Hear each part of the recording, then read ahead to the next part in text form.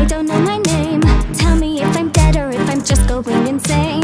XDD, see the writing on the wall. The vowels and the consonants, they save us all. You must think that you're